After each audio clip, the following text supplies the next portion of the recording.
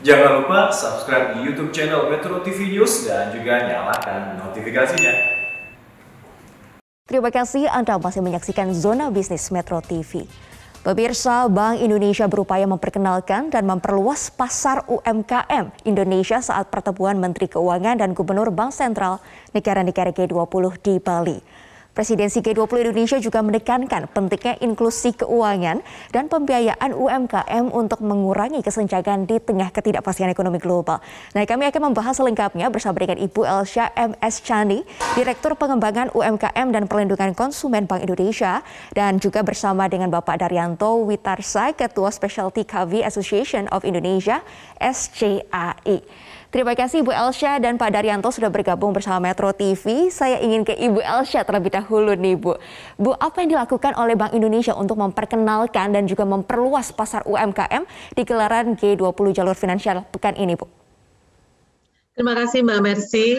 Uh, tentu kita semua memahami bahwa penyelenggaraan pertemuan finance dan uh, finance dan central bank deputies yang ketiga ini yang dilanjutkan dengan pertemuan finance uh, minister dan central bank uh, governors yang ketiga juga merupakan sebuah event yang sangat-sangat penting. Di sana berkumpul berbagai pemangku kepentingan utama global. Kita mengeluarkan gagasan, mendiskusikannya, dan mencoba membuat impact secara global.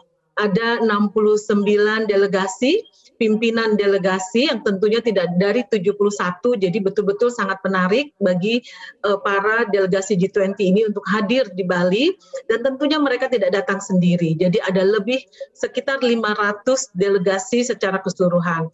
Ada akademisi, ada delegasi itu sendiri, ada industri, ada perwakilan UMKM dan masyarakat.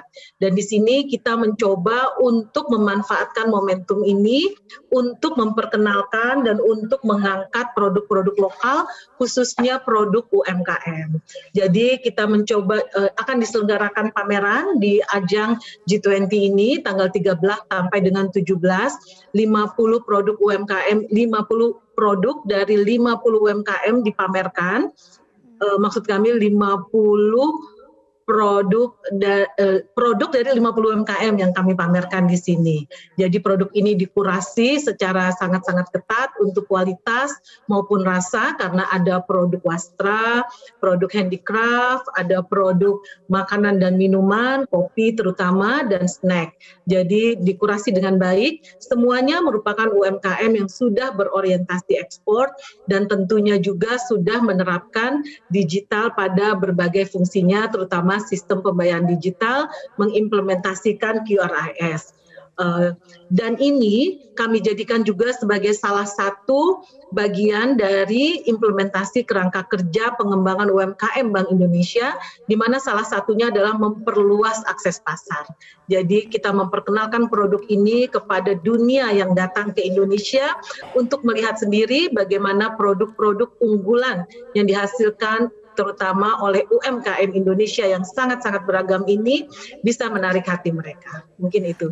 Makasih. Baik Bu, ada 50 produk UMKM yang dipamerkan di event G20 ini ya Bu. Salah satunya yang dipamerkan adalah kopi nih Bu. Nah sekarang saya ingin ke Pak Daryanto. Pak, ini adalah salah satu peluang nih untuk memasarkan produk ke luar negeri Pak. Seberapa siap dari Asosiasi Kopi Pak untuk uh, memperluas pasar ekspornya? Ya.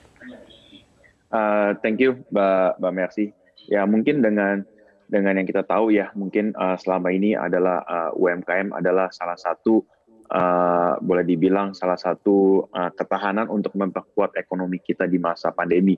Jadi dengan adanya digitalized platform dan segala macam itu uh, banyak coffee shop coffee shop, barista barista, even even petani-petani uh, yang yang dulunya tidak bisa mengekspor kopi sekarang dengan digital mereka bisa memperkenalkan kopi Indonesia jauh lebih luas ke mancanegara dan dan even petani bisa ke ke kota-kota yang lebih besar dan uh, I think I hope dengan adanya platform digital dan dan itu bakal mempermudah semuanya untuk uh, perkopian UMKM di Indonesia. Berarti sudah siap Pak kalau ada peningkatan pesanan. Sudah siap. Sudah siap. Kopi sudah apa sih siap, Pak yang siap, yes. yang paling uh, favorit di sana Pak yang diperkenalkan? Oke, okay, uh, contohnya uh, kita juga ada satu yang kita sudah jalankan itu namanya auction Cup of Excellence itu juga melewat digital. Jadi kopi-kopi uh, Indonesia kita kurasi uh, ada sekitar 500 petani yang kita kumpulkan, kita kurasi, kita auction, lelang dan pembeli-pembelinya adalah itu roster-roster uh, dari uh, seluruh dunia. Dan itu kopinya ada dari Aceh dan sampai ke Flores. Dan pemenangnya tahun ini adalah dari Aceh Gayo. Oke, menarik sekali dia Pak Daryanto. Ya, Tadi Bu Elsa juga katakan tidak hanya produk kopi, tapi ada produk lain yang sudah dikurasi oleh Bank Indonesia. Kita pengen tahu nih Bu, ada produk apa lagi sih selain kopi? Tapi kita akan bahas lebih lanjut usai jeda iklan berikut ini ya, Bu Elsa dan Pak Daryanto. Dan pemirsa, tetaplah bersama kami di Zona Bisnis Metro TV. Ya pemirsa kita akan melanjutkan perbincangan kita mengenai kehadiran UMKM Indonesia dalam pertemuan G20 di Bali pekan ini. Masih bersama kami Ibu Elsha dan juga Bapak Daryanto. Saya ingin tanya nih ke Bu Elsha, selain kopi ada produk apa saja sih Bu dari Indonesia yang dipamerkan di gelaran G20 Bali pekan ini? Oke, terima kasih, terima kasih Mbak Mercy. Produknya banyak sekali. Jadi saya mau koreksi tadi. Uh, yang 50 tuh UMKM-nya. Jadi produknya sangat-sangat beragam, berasal dari berbagai UMKM um, apa namanya dari seluruh Indonesia. Jadi kalau untuk kopi saja bahkan ada dari Aceh, Sibolga, Jambi, Sumatera Selatan, Jawa Barat, Bali, NTB, dan Papua.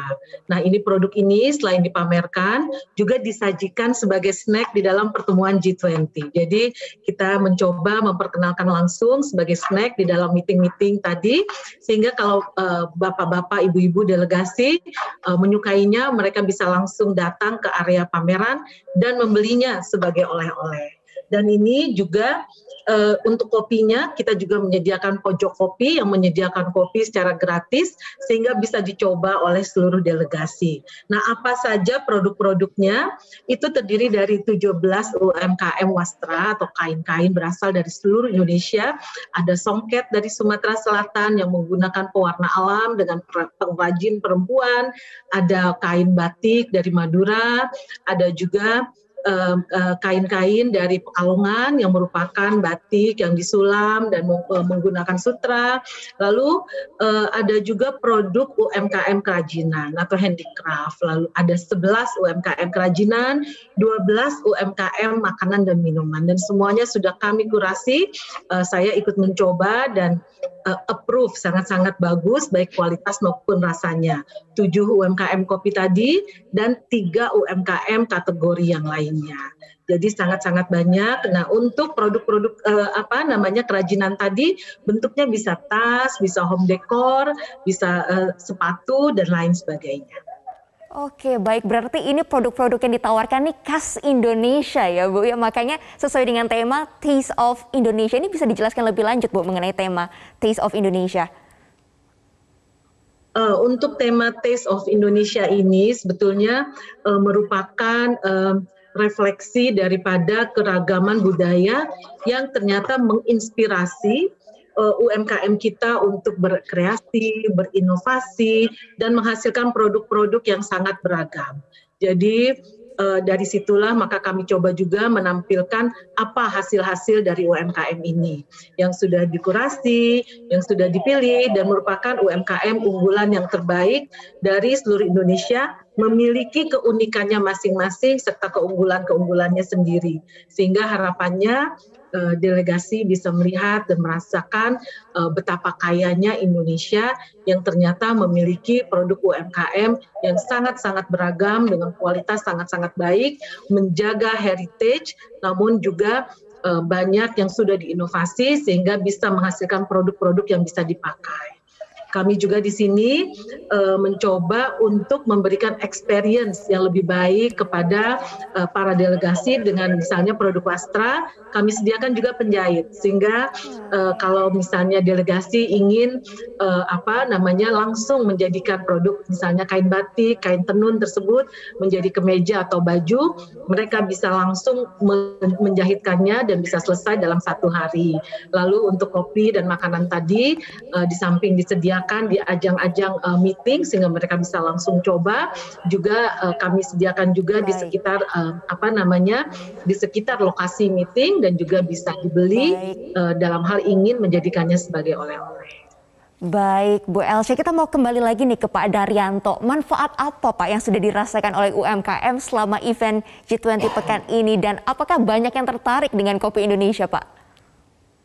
Ya, uh, sebenarnya saya banyak sekali ya. Mungkin bukan cuma dari segi tourismnya yang naik, tapi di sini saya saya juga lihat banyak members-members kita yang uh, yang uh, ada di tempat sana juga mereka sebagai barista dan uh, mereka menyajikan kopi dan dan uh, pasti otomatis perkopian dan uh, tourism di Bali pasti naik semua dan uh, Bali uh, kayak kita sudah tahu nah itu salah satu tempat destinasi yang yang lagi hot tahun ini ya jadi not only uh, turis dari luar negeri dari lokal pun juga datang di sana dan dan uh, komunitas kopi di sana juga sangat antusias sekali sudah menanti menantikan. Baik, sedikit Bu Elsha boleh dijelaskan ke depannya Bank Indonesia akan melakukan apa lagi nih supaya UMKM kita produknya semakin dikenal luas di dunia, Bu?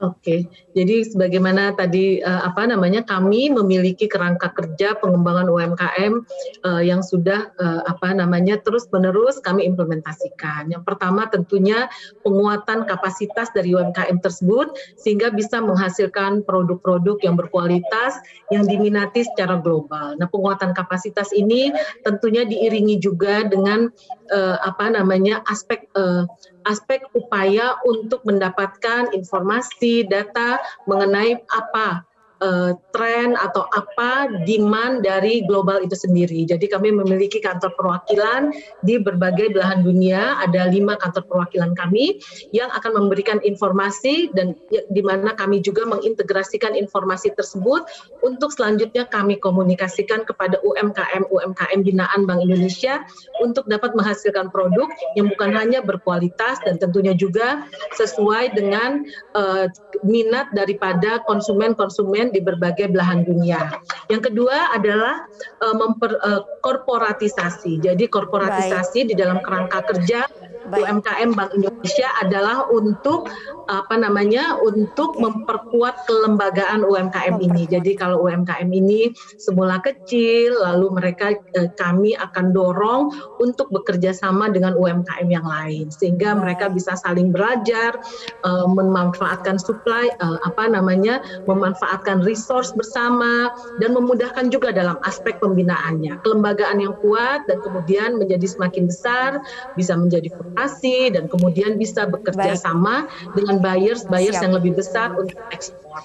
Dan di iya, Ibu Elsa itu menjadi harapan ya. kita bersama ya Bu Elsa dan juga Pak Daryanto supaya melalui adanya event internasional G20 ini bisa Betul. banyak melibatkan UMKM dan juga membuat UMKM segera naik kelas. Terima kasih banyak Ibu Elsa dan Pak Daryanto untuk waktu dan kesempatannya. Sukses dan selamat kembali beraktivitas. Pemirsa perbincangan tadi sekaligus menutup zona bisnis sore hari ini. Terima kasih untuk perhatian Anda dan sampai jumpa.